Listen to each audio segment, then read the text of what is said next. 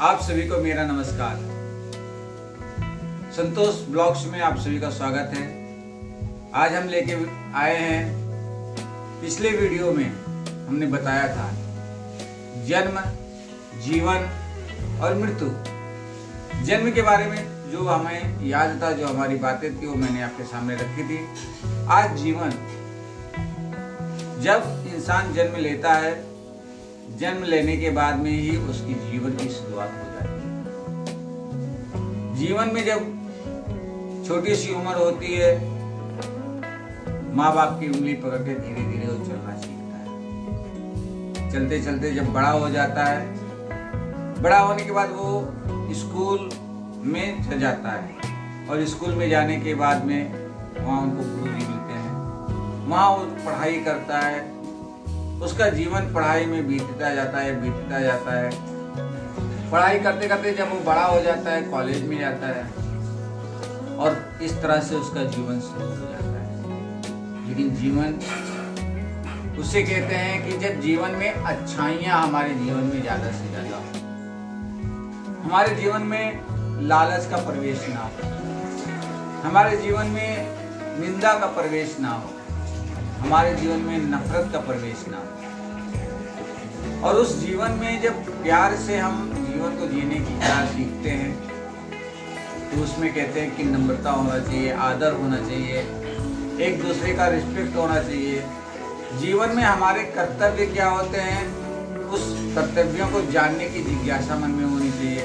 और जब इंसान उस जीवन में कर्तव्यों को जान लेता है तो कर्तव्यों को जानने के बाद में जब वो जीवन जीने लगता है ना तो उसके जीवन में खुशियाँ आनी शुरू हो जाती हैं। और कॉलेज की पढ़ाई करने के बाद में और बड़ा होता है, सर्विस लगती है। सर्विस लगने के बाद में उसका शादी जब होता है तो वो गृहस्थ जीवन में आ जाता है। और शादी होने के बाद गृहस्थ जीवन में आने के बाद में उसके ऊपर सारी जिम्मेदारियाँ आ जाती हैं।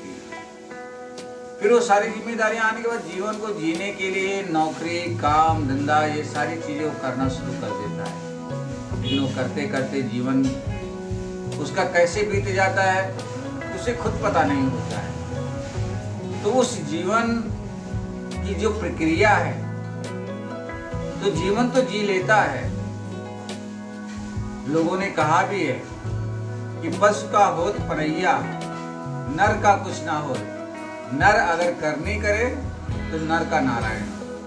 कहते हैं कि इंसान जब जीवन जीने लगता है तो उसके ऐसे कर्म होने चाहिए कि उसे नारायण का रूप मिल जाता है। लेकिन वही नहीं होता है। हम लोग काम में इतना उलझ जाते हैं कि हमें उस विषय को जीवन में लाने का समय ही नहीं मिलता है। लेकिन जब वो समय आता है, जीवन में तब खुशियाँ आती हैं। इसलिए जो संत महापुरुष होते हैं, वो बताते हैं कि जीवन जीने की कला कैसी होती है, जीवन किस तरह से जिया जाता है। तो ये बातें हमारे मन में था कि जीवन जीने की कला कैसी होती है। इस विषय को भी हम लेंगे। लेकिन जीवन का प्रवाह जो होता है, इसी तरह से होता है। धीरे धीरे हम जवान होते हैं धीरे धीरे हमारे जीवन में बुढ़ापा आ जाता है। और बुढ़ापा आने के बाद में हम मृत्यु को प्राप्त हो जाते हैं। तो मृत्यु के समय क्या अवस्था होती है, उस विषय की चर्चा हम बाद में करेंगे। लेकिन जीवन जीने में हमने तो यही जाना है कि जीवन को अगर जीना है तो प्यार से, नम्रता से, दूसरों को, दुखों को दूर करने परोपकार करने के लिए जीवन मिला है। तो इस जीवन को उस तरह से हम जिए। धीरे धीरे ये सारी प्रक्रिया हमें पता चलने लगती है। तो ये जीवन की जो प्रवाह होता है जीवन में सुख है, कभी दुख है, कभी सुख है, कभी दुख है। दुख सुख में इंसान हमेशा घूमता रहता है और घूमते घूमते आखिर लेकिन इंसानों, एक चीज़ है कि जब तक जन्म लिया है, फुर्सत नहीं है काम से, कुछ ऐसा समय निकालो, प्रेम कर लो राम से। और जब राम से प्रेम करेंगे, लिखी हुई बातों को जीवन में लाने का प्रयास करेंगे तो हमारा अभी का जीवन भी सुखमय होगा।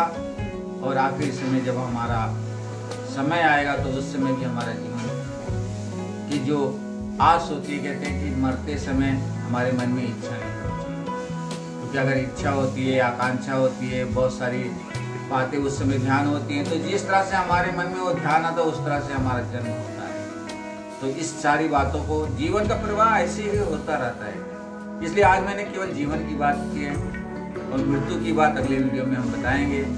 तो इस बात को यही समाप्त करता हूँ और आपसे विदा लेता हूँ। ऐसे जो जो ख्याल मन में आते हैं मैं आपके सामने रखता हूँ।